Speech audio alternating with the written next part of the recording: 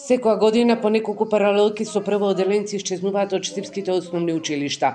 Според списокот на СВР Штип за учебната 2022-2023, во училишните клупи треба да седнат 640 деца, но првиот уписан рок покажа дека во општината има 361 праваче. Обштинските служби се изненадени од големата разлика, па затоа ти се прави анализ.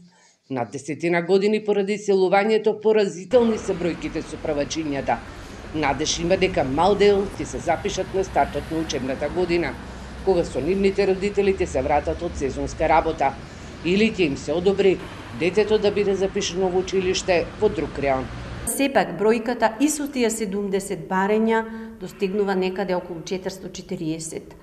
Проблем од 200 ученици кои што ги немаме моментално, Верувам дека а, дел од учениците кои што се на списоците, особено после септември, септемврискиот упесен рок, кога имаме масовно запишување на деца од ромската етничка заедница поради гроздоберите и така натаму, тоа е евидентиран проблем на кој што работиме повеќе години, верувам дека оваа бројка ќе се зголеми за уште 20 на 30 ученици.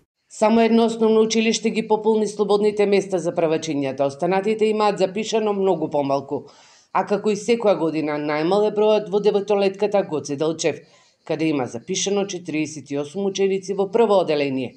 Телме информираше дека дел од родителите со промена на адресите на живење и избегнаа реонизацијата. Новото раководство сега ќе бара да се направи нова реонизација во Штип. Па се надеваме дека со новата стратегија која што ја планираме да успееме барем дел од нив да, да, да ги вратиме назад.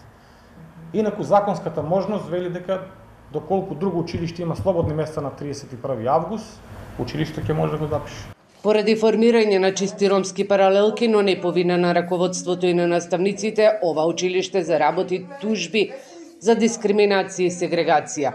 Инако е немодерното, целосно дигитализирано, со видео надзор и единствено со бесплатен целодневен престој.